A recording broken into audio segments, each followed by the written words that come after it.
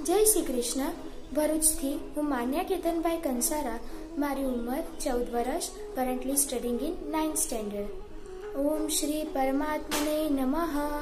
પ્રથમ અધ્યાય અર્જુન વિષાદ યોગ પ્રથમ શ્લોક ધૃતરાષ્ટ્રવાચ